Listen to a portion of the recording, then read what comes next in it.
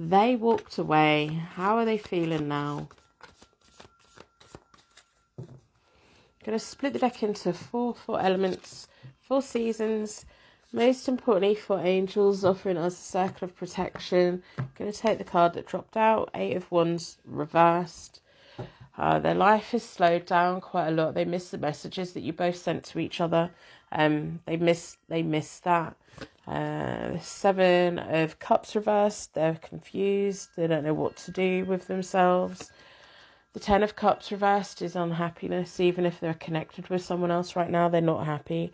They miss the messages. They miss the, the flow of energy that you both have with each other. They miss the ease of when you were both together, how easy it was between you both.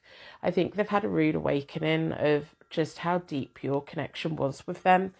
And they're really confused about things at the moment. They dream about you a lot. They daydream about you a lot. They walked away. I've got a suspicion they jumped from you straight into another relationship.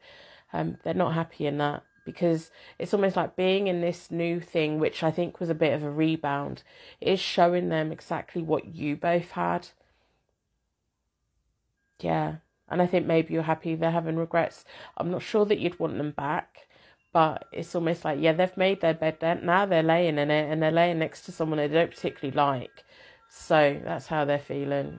I'm going to end reading here, going to wrap you in a massive bubble of protection so that your angels can take you on your way.